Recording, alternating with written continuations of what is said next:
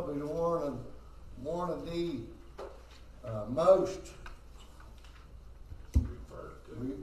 one of the most uh, passages in the Bible that you've heard, and if you've ever if you've been in church any at all, from your youth, uh, even the young uh, children's stories, of Shadrach, Meshach, and Abednego and the fiery furnace, like Noah and the ark. Makes a good storybook, don't it? It does. But this morning, I want you to keep the thought Richard said. Now, me and Richard, we haven't talked, we haven't, we haven't spoken this morning. I just, when we come in, I went and sat down. And, but I want you to keep that thought on the, what he quoted this morning about Proverbs, about training up a child. You know, I want you, to, if you will, just give me a few minutes. There's nothing new that I can tell you. You've already know the story. Lee would How- say, how, mind the Lord. uh, how the king of Babylonia, Nebuchadnezzar, threw the children in the fiery furnace. You know the outcome. You know that he looked in and he seemed, said, Did we not throw three men in? Yeah, Yes, O king, we throw three. So, you know, we know that he said, Well, I see four, four men in the fire. One of them is looking as unto the Son of God. uh-huh. But I think it's important that we read these messages, we read these passages and these stories of the Bible, and we look back many a time, and we think we're studying or we think we're talking to these, talking to these superhuman beings. Someone that has been walking face to face like Moses walked. Moses was the only man that served God face to face. But we look at these people, Toby, and we think they were some kind of super Christian, some kind of super, uh, had super relationship with God like no other man. But I want to back up a little bit. I want to bring you to where we're at today. Bring you to the story today. And I want you to take another look or a closer look at these three men that was thrown in a fiery furnace. Mm-hmm. Their names was changed. That wasn't their names. The Babylonians give them a name, give them the names of Shadrach, Meshach, and Abednego, as they changed, King Nebuchadnezzar changed Daniel's name. But Andy spoke last Sunday about the message that Jeremiah went and delivered into the temple. And how that they was ready to take Jeremiah out and slay. But every word that was spoken by the prophet of Jeremiah had been, has been fulfilled. We're looking at 20, 21 years later, everything that Jeremiah, Andy, that you taught last week has come to place. The Babylonians had come, they have des- destroyed Jerusalem, they've tore the great temple of Solomon down, they've tore the walls down, they've burnt the gates, they've done everything that was spoken. So, these men, if you started chapter 1, Nebuchadnezzar gave orders to the highest ranking eunuch. He said, I want you to get certain children out of Jerusalem from the king's seed, and I want, and different ones, and I want them to be without mar or blemish. I want them to be good looking children. Don't want no handicaps or disabilities. I want these children to be well learned. Come on, Ron. I want them to be well spoken. I want them to be able to be educated in science, educated, and able to learn. And I want you to bring these children to my palace so that we can train them in our languages and we can teach them in our culture. So they did that. And those children, four of them from the tribe of Judah, Daniel, Shadrach, Meshach, and Abednego, they were brought to the king's palace. And if you read on to Daniel, first chapter of Daniel, the king said, I want you to take meat from our table, wine, and I want them nourished. I don't want them to go hungry. I want you to feed them. I want you to take care of them. And in three years, they, I want you to present them before me. And that was done. Of course, we know the story that God laid it on Daniel's heart to not to take the king's provision. So Daniel, the Lord put it on, into the heart of the, the one over the eunuchs, and he gave Daniel likeness. Daniel said, I don't want the king's meat. I don't want defiled with his wine or his meat. He said, I want you to just give us pulse, greens, vegetables, Yeah. all we want. And he said, I can't do that, Daniel. If I bring you before the king and you're malnutrition, It's my job. the king will have me put to death. Yeah. Of course, we know the story that he, he went ahead and that's all Daniel, Shadrach, and Meshach, that's all they ate. And they fared. And the Bible said when it came to three years, that when they stood before King Nebuchadnezzar, that Daniel, Shadrach, and Meshach was better, yeah. ten times. The Bible said specifically they was ten times more healthier than the other children. So then we go to chapter two. So ch- chapter two, we find that Nebuchadnezzar had a nightmare, a bad dream. And it bothered him, it bothered him bad. And he worried he couldn't sleep at, he couldn't rest at night. Ronnie, somebody ain't heard this before. Take your time, buddy. So he called all the astrologers, all the wise people, all his brain trust, as we would say today, brought them in. He said, I had this dream, and it really bothered me. Uh-huh. He said, and I want you to tell me the interpretation. Drive me in my sleep. They said, Oh, king, okay, well, tell us what the dream is, and we will interpret it. Nebuchadnezzar said, No, here's the deal. I want you to tell me what the dream was and the interpretation. And they said, Oh, king, there's no way. We don't know what you dreamed. You're asking something that nobody has ever asked before. You tell us what you dreamed, we'll tell you the interpretation. we'll make up something. He said, No. He said, You tell me the dream and the interpretation. I have to give it to Nebuchadnezzar.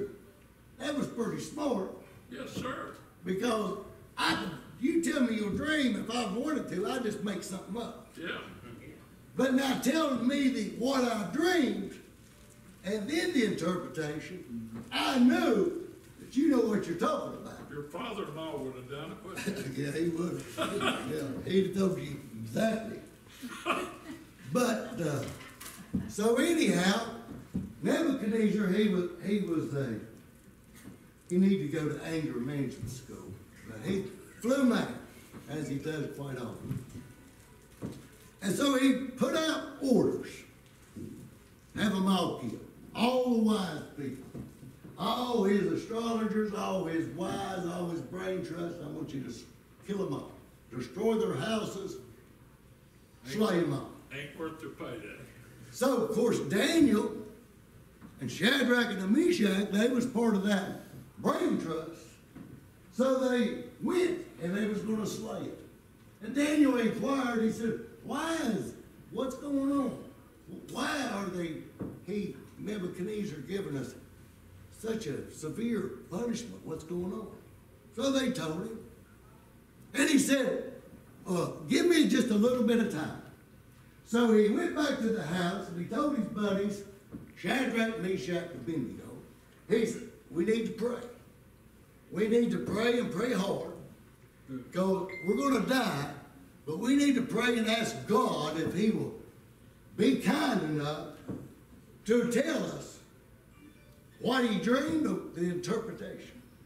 So Shadrach, Meshach, and Abednego, and Daniel, they prayed. And the next day, Daniel, God enlightened Daniel's mind. And he told him. And so Daniel went and he said, Take me before the king, and I will tell him what he dreamed and the interpretation. Man, that's stepping out, ain't Aaron. So we know the Bible records that he told him his dream, and he told him exactly what he dreamed. And his dream was the future, how Nebuchadnezzar's kingdom would fall, how he'd be great, but he would fall. So Daniel told him everything that he dreamed. And Nebuchadnezzar knew that he told him exactly what he dreamed.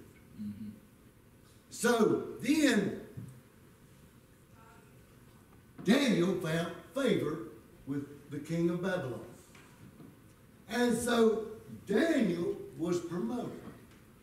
And when Daniel was promoted, he asked that Shadrach, Me- Meshach, and Abednego would be promoted and given jobs. So Nebuchadnezzar set them over to provinces, uh, in Babylonia. So they all had official jobs. They had government jobs. They were set in place. Now I want you to remember one thing. Pay close attention to this. When these men, have you ever, when you hear this story, did you hear the children cast in the fiery furnace? The three Hebrew children? Yeah, mm-hmm. That's what they was. Yeah. They were 16, 17, 18 years old when they was took into captivity. They stood three years being nourished. So the most they could be was 21, 22 years old at this time. So they was young men, 22, 23 years old. They was put in prominent positions. And of course, when you take a young person and you put them over top of people, they get mad and jealous. Mm-hmm. Especially if they 40, 50, 60, 70 years old, worked all their life, and here comes this young punk, gonna be the boss. I remember, and I'll be honest with you, the first foreman position I took, Johnny, you remember, I was 24, 25 years old, 26. And there was people, not Johnny, Johnny always was good. Me and Johnny got along good. There was people that resented the fact that I was their boss. And I understand that.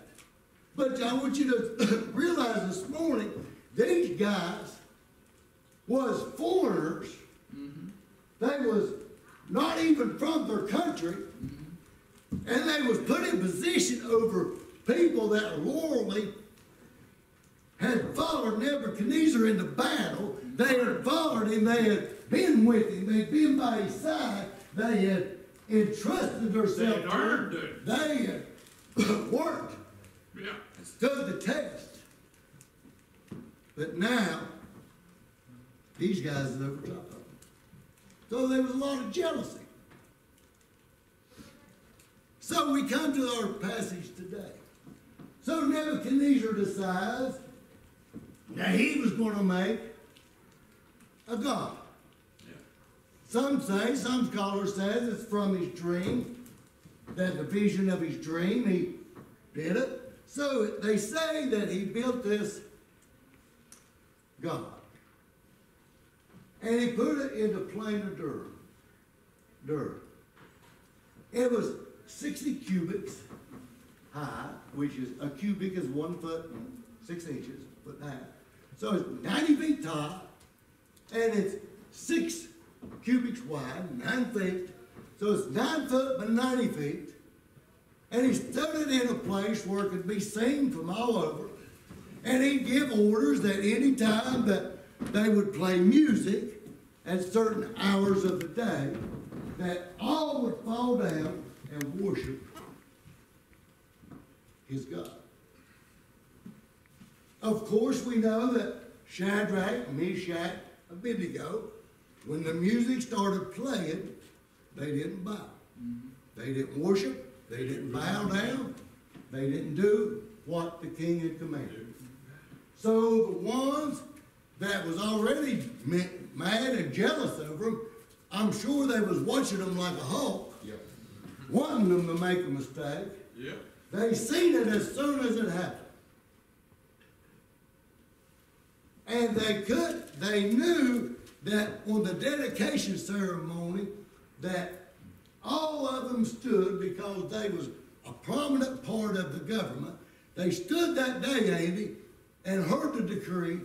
They knew exactly what they were supposed to do.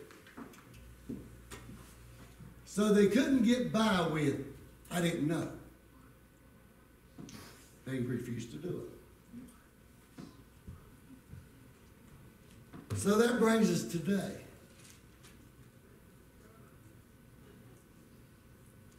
I know our lesson is three and it skips to eight, but I'm going to read right on through. Nebuchadnezzar the king made an image of gold whose height was three score cubits and the breadth thereof was six cubits, and he set it a plain of Dura in the province of Babylon. Then Nebuchadnezzar the king sent together all the princes and governors and captains and judges, treasurers, counselors, sheriffs, and all the rulers over the provinces. Because we know that Shadrach, Meshach, and Abednego, they was already, they was already uh, set over the provinces, so they was there. Then the princes and the governors and the captains and the judges and the treasurer and the council, sheriffs and the rulers and the province of the provinces were gathered together at the dedication of the image. And Nebuchadnezzar king had set up, and they stood before the image of Nebuchadnezzar and had, had set up. Then and herald, herald cry aloud, To you is commanded, O people, O nations, and all languages. We know that Babylon not only took Jerusalem, but he took several different countries in that region.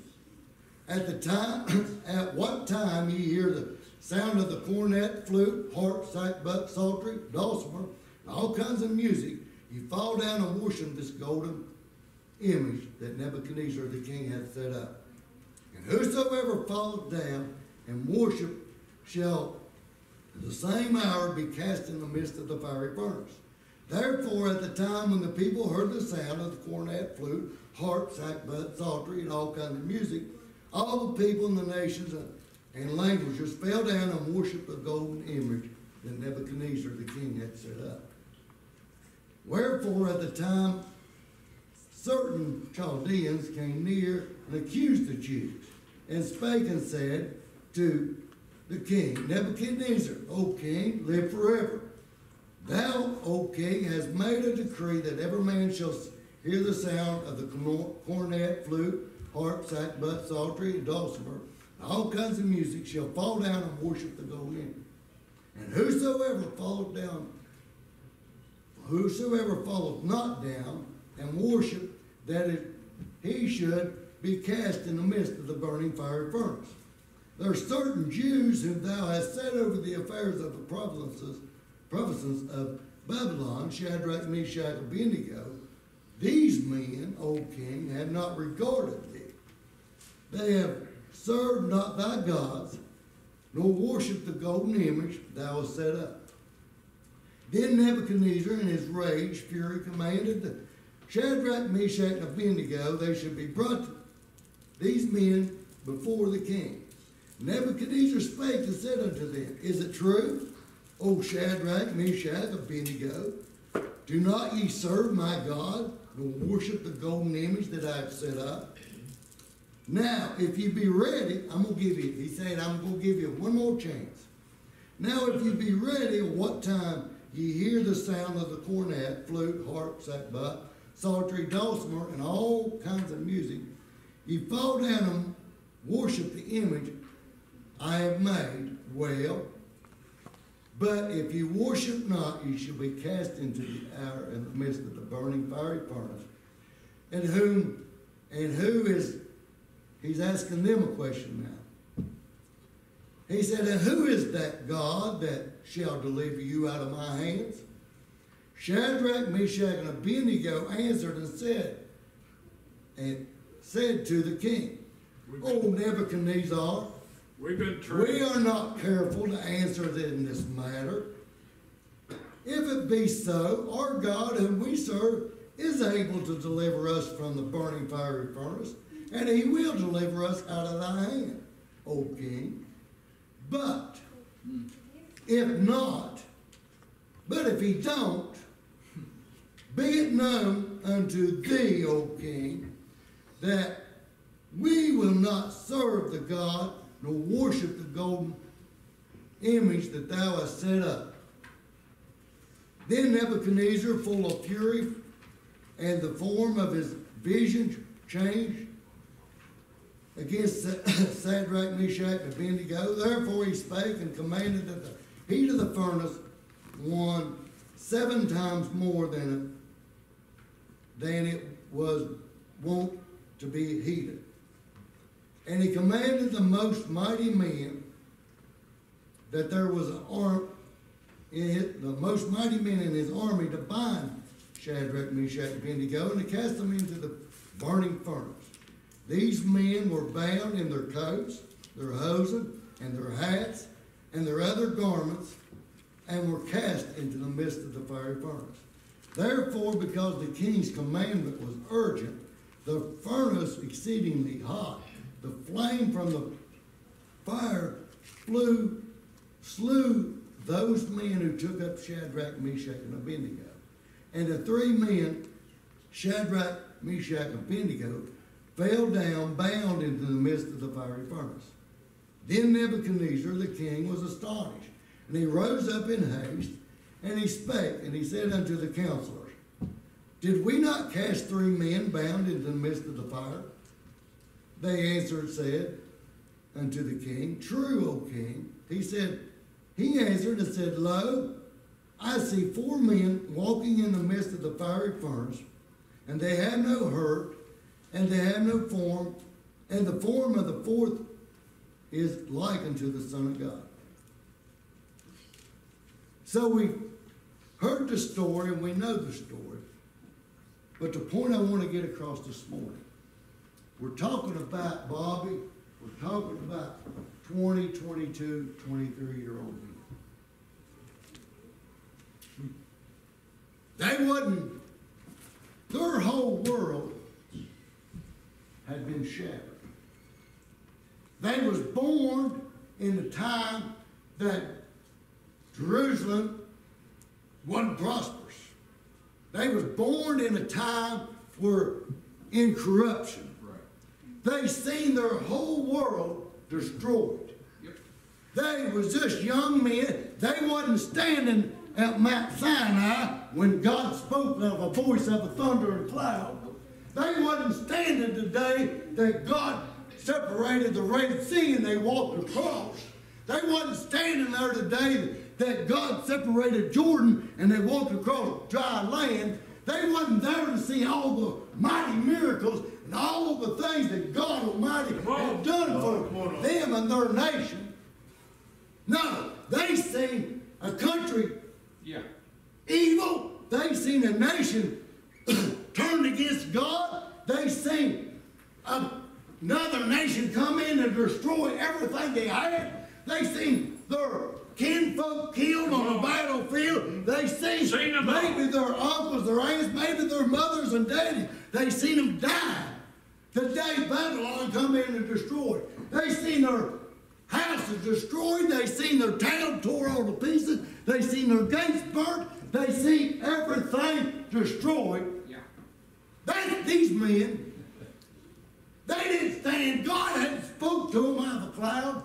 God hadn't did no great miracles in front of them. These men were like you and I.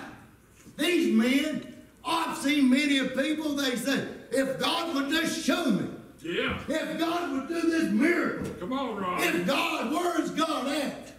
They said, where's God at? I've never seen a mountain just move. Tell me I ain't never seen Big Coal River divided. I ain't never seen God speak from a cloud to me. Oh, but he spoke. to. But I know He's God, and I know He's real, and I know He is able to deliver me. How? What them boys had? Them boys had the Word of God. Been trained. They had been trained, they had been taught. Only thing they had on was what they read in the Bible. Yeah. That's all they had. They had read what the scribes had wrote down. They had read Isaiah. They had read, they had read Psalms. They had read the Word of God.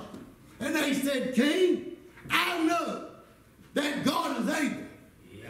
I know He's able. Yeah. That's what he told him, Josh. He said, but if he don't, Yeah. I'm still going to follow him. Amen. Praise the Lord.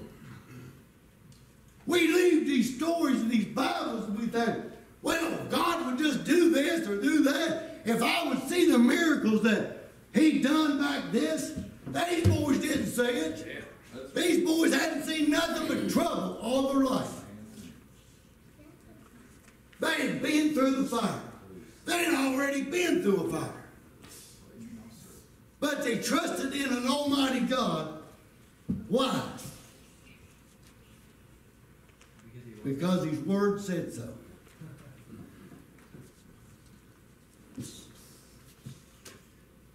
Maybe they read Isaiah.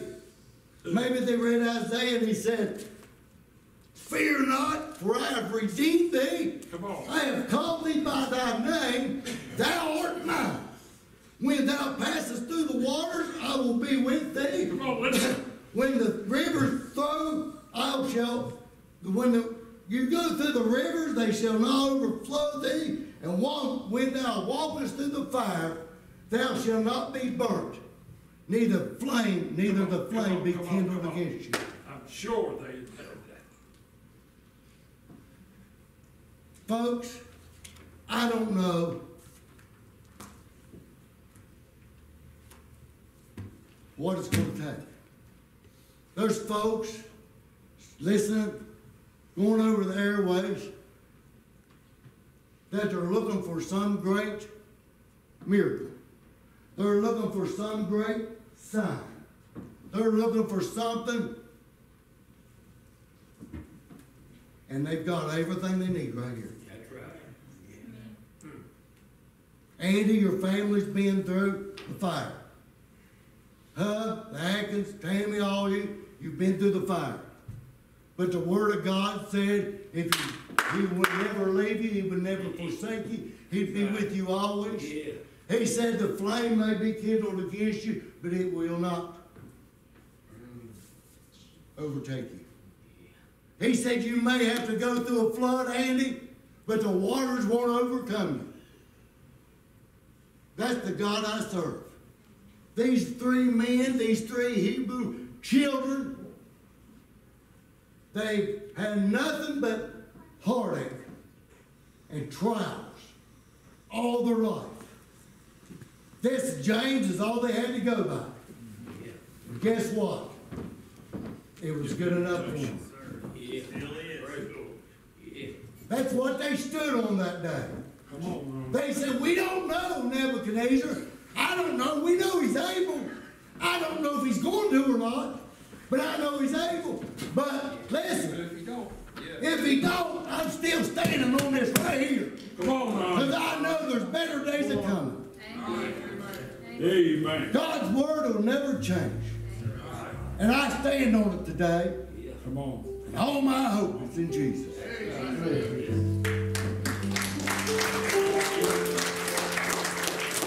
You might say, oh, they've been in the fire before. No, they hadn't, Ronnie. Nope. never They've been trained. That word of God was instilled in them. It's right. They trusted you. Go ahead, Zack. I don't know what your need is, but I'm telling you what. Ronnie, I may have not been, I ain't been in the furnace of fire, but I know one thing, if I have to go there, he'll take care of it. Time to pray, time to pray. So many times I've questioned certain circumstances, things I could not understand understand. Many times in trials Weakness blurs my vision. Come on, son. My frustration gets so out of hand. Oh, God, church. I am reminded